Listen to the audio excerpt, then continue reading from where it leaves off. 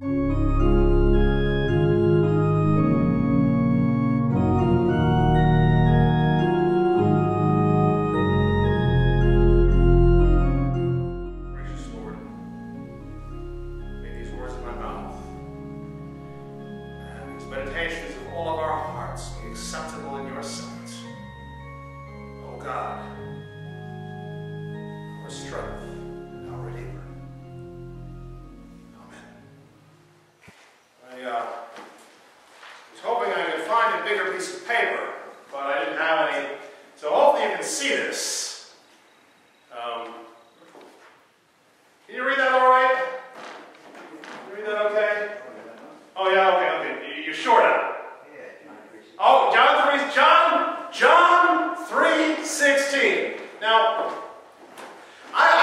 areas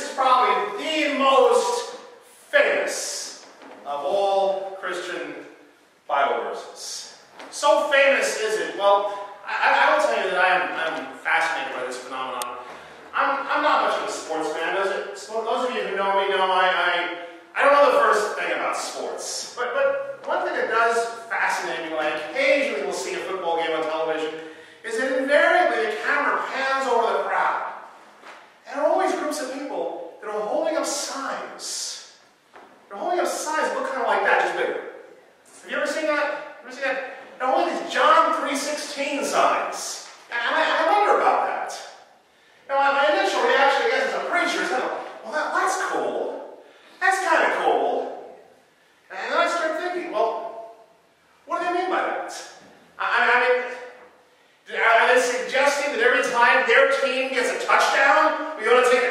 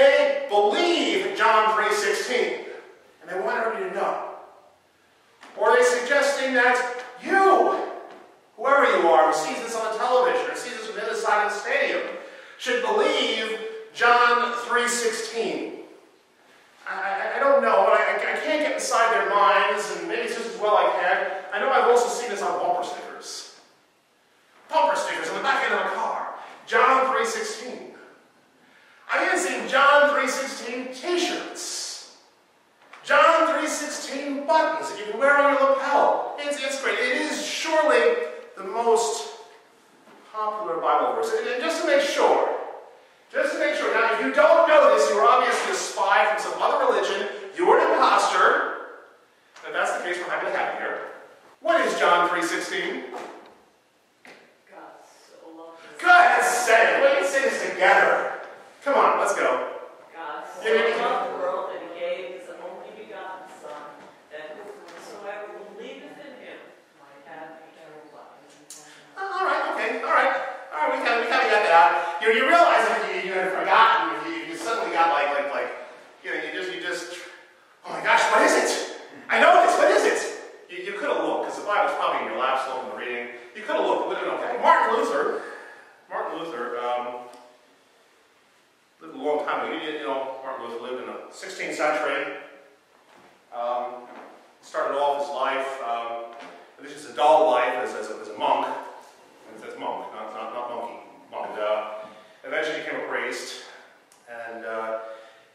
discovered he had some issues with the way the church was and uh, found himself leaving the church.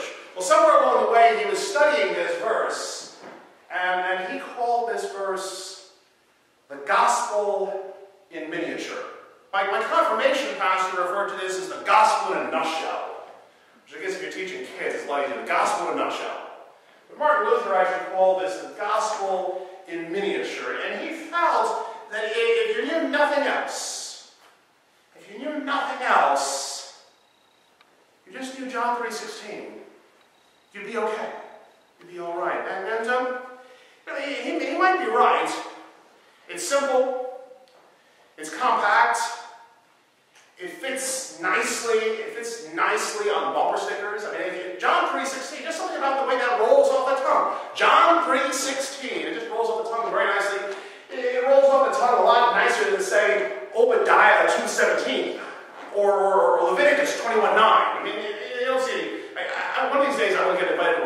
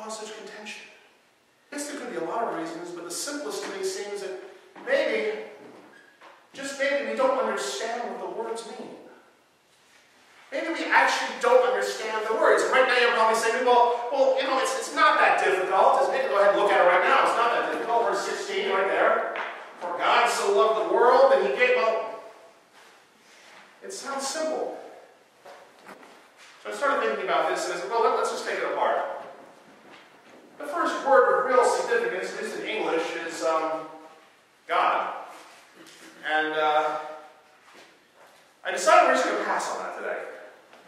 I, I don't know about you, but my mind is finite. I can say a lot about God, but I'm not going to try to define God. So I thought we'd start, start with something a little simple, something we all understand, something that we all know about, this thing that makes the, the world go around. The next word of significance. The first verb in the statements? Love. And, and we all know what love is, right? We all understand love. You know, then we've bid in love. Then we love, well, right away you understand we have complexities. For example, last night I was driving around really late, and I hadn't had supper. And again, those of you who know, if I don't have supper, I get grouchy. I get mean. Even meaner than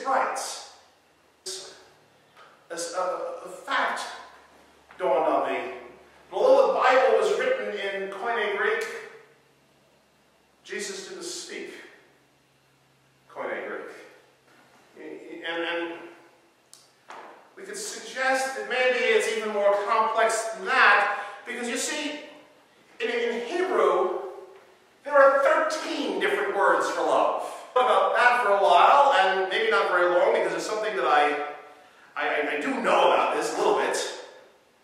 That most of the time when Jesus was talking to his friends and talking to people on the streets, he didn't speak Hebrew either. He spoke Aramaic. What's interesting about Aramaic is Aramaic, like English, has only one word for love. One word for love. By the way, the word is rakma. Rakma is, is, is the word for love in, in, in Aramaic. And so all of a sudden, we're right back to where we started from. Well, sure, the person writing this down in Greek is going to use agape, whatever. What else would they do? But agape allows us to believe something that might not be true. You see, stealing my bologna sandwiches, time in and time out, God tells me that I have to love those who hurt me. I have to do good to those who persecute me, even steal my bologna sandwiches. And that kind of love is agape. Which means that I might have to love Norman, and he might even have to love me, but I don't necessarily have to like Norman. And he doesn't have to like me. It's true. And I'm sure you've experienced that in life. I'm sure you've experienced people you might recognize you love them. Maybe you love them because you have to, because the Bible says you should. Maybe you love them because they're some sort of a relative or something. But maybe you don't like them. To suggest that this is how God loves the world. God loves the world, but perhaps doesn't like it, is, is what agape just might imply. Maybe. So I wondered about Jesus speaking. As after all, Jesus is speaking to Nicodemus at the moment. Jesus is saying he's speaking to Nicodemus. And he's speaking Aramaic, the language of the everyday language of the people. And, and Jesus would use this word, rakma, and it would be just as ambiguous in Aramaic as it would be in, in English. And although, as you probably know, I'm a big fan of parsing things out in, in, in Greek, because I often think that having more words for something is better. Sometimes I wonder if there's a place where it would be better to have just one word. Let me give you an example. See, I think one of the reasons why some cultures only develop one word for love is because it may be very difficult to parse out. It may be very difficult to parse out what we mean by that. Now, this might embarrass some of you when I talk about this. It might even embarrass me, so if I turn red behind the ears, you'll know why. But take, for example, a man and a woman, a husband and a wife. Now, sometimes husbands have a problem with this, and sometimes wives have a problem with this, let's say they don't have a problem. And the husband says to the wife, something I'm sure most wives want to hear. He says, Honey, I love you. Now, that's a simple statement. It's, you know, three little words. Three little words that we say can fix everything. I love you. But what does a man mean by that? parse that out. We can say, well, does he mean agape? Does he mean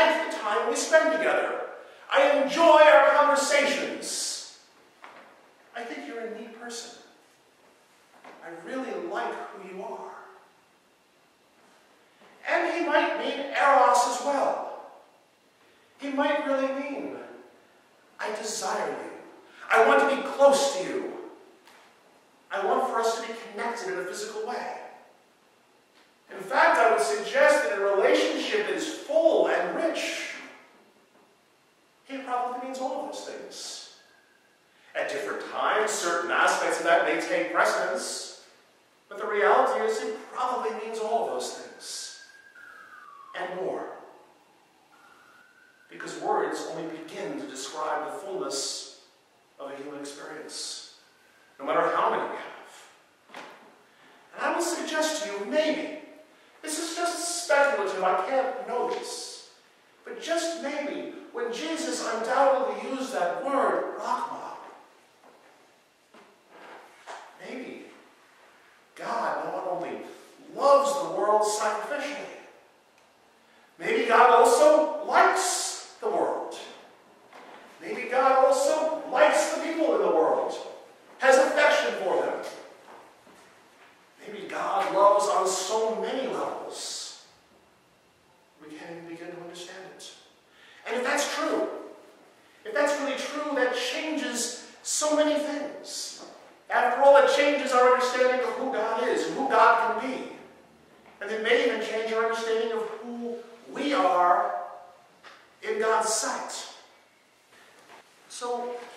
right away we begin to see that there may be more to this. God so loved the world.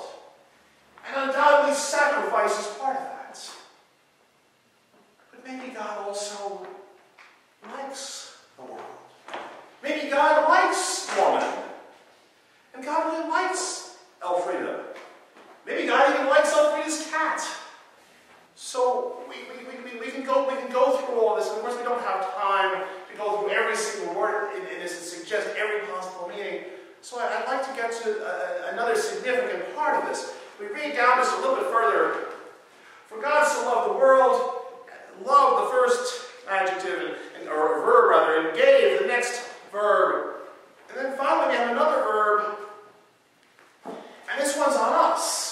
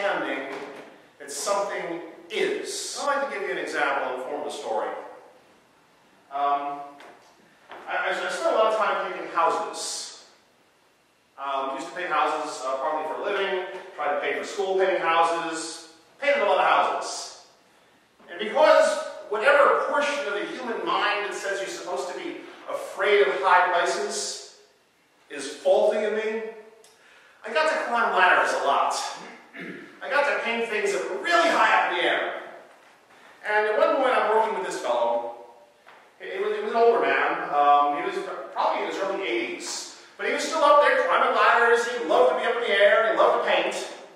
So I'm working with this guy. The young guy over.